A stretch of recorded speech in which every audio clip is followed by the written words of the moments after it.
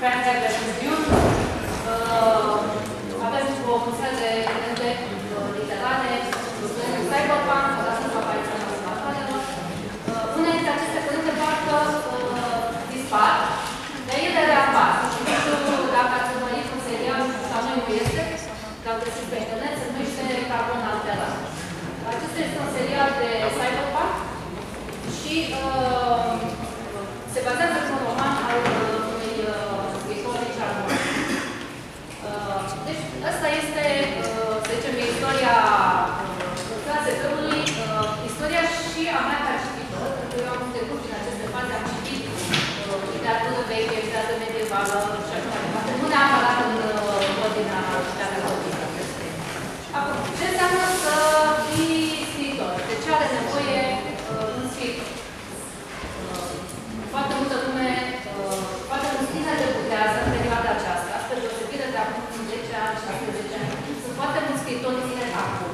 Nu sunt neapărat de SF, SF-ul e mai uh, restrictiv, dar sunt de uh, literatură de aventură, de fantasy, foarte mulți pe fantasy, ca să fii mai simplu. Deci nu trebuie să stai să studiezi uh, teorii științifice, nu trebuie să fii om de știință. Pentru mine, ca uh, filolog, este mai complicat, de exemplu, să spui SF, pentru că partea de știință nu este apropiată. Deci trebuie să studiezi partea asta. Uh, Pentru mine este simplu. Cunoști mitologie, ai văzut filme cu vampiri, știu eu ce, uh, te, te, te pricepi să uh, lucrezi cu personajele și este foarte simplu să scoți o carte pentru adulți pe partea de referență. Uh, Deci, ca să fii scriitor, trebuie să ai, să zicem, talent. Asta este născut. Uh, Este foarte important să fii talentat, dar din păcate aici nu ai ce să n-ave- aici nu avem ce să zici. Însă, talentul este, să zicem, 1-2%. Restul, cum spunea cineva, scrisul e 1% uh, inspirație, 99% transpirație. 99% transpirație înseamnă cunoștințe în domeniu. Acum, fiind la filologie, chiar fără să vreau uh, pe timpul facultății. Uh, Din păcate, uh, și aceste cunoștințe nu sunt suficiente. Uh, Învățăm despre istoria literaturii, despre știu, teorie literară, Uh, dar nu e de ajuns ca să știu în fantasy, de exemplu, se ce te ajută ca tehnică. Uh, o experiență foarte, foarte importantă este cea de citit. Pentru că uh, scriitorul trebuie să se raporteze la ceilalți. Ceilalți din domeniul de lui sunt scriitori. Adică știm ce s-a scris pe domeniul respectiv, ce vrem, uh, ce vrem noi să scriem, ce scriu cei din uh, perioada respectivă. Uh, o problemă a românilor este faptul că ei sunt întotdeauna comparați cu mari scriitori din străinătate.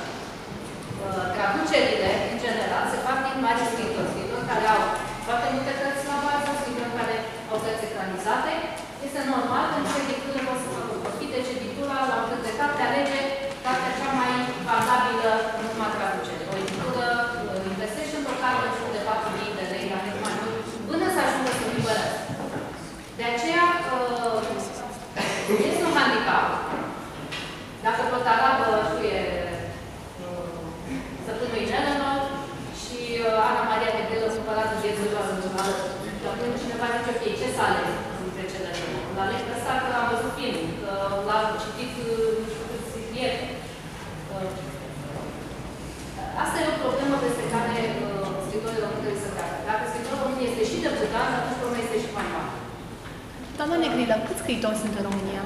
Uh, de SF, Uh, contemporan, să zicem acum. sunt foarte mulți. Sunt 100, foarte mulți. 1000? Eu cred că sunt, pot să fie și de 4.000. Da. Uh, pentru că sunt uh, pe diferite genuri, uh, sunt de diferite, să zice, grade de complexitate. Unii se adresează tinerilor, alții se copiilor, alții se adresează tinerilor, alții se adresează uh, femeilor interesate de romans și așa mai departe. Alții merg pe uh, postmodernism. E adevărat că 80% din literatura vândută în România este tradusă, nu e română. Da. Practic e o șansă micuță, o feliuță de 20% pentru scritorii români, care sunt ceva. Uh, Sunt foarte multe șanse pentru că uh, piața de carte fiind mai mică la noi, cartea unui român nu este, uh, nu costă atât de mult. Ca să ia cartea unui autor mare străin, uh, trebuie să plătească dreptul autor mare.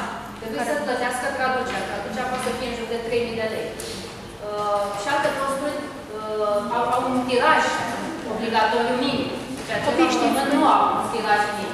Știți că câștigă un scriitor care, care e beneficiul lui din vânzarea unei cărți, procentual? Sunteți curios să știți? Poate unii vreți să fiți scriitori.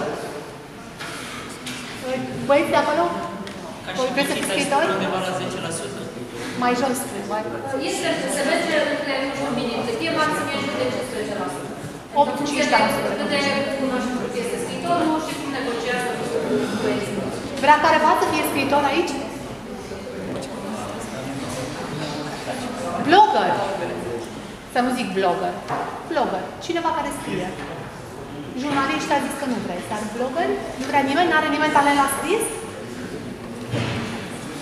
Doamne, de ce v-ați făcut scriitoare? De ce ați ales să fiți scriitor? Am avut chemare.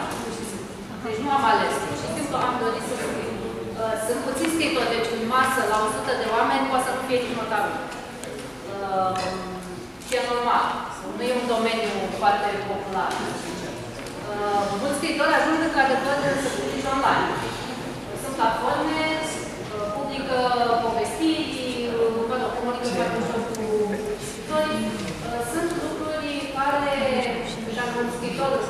perioada aceasta trebuie să le fac. Și anume să, uh, să activez online. Pe platforme de socializare să activez online uh, uh se prezinte cărțile și nu te când am acest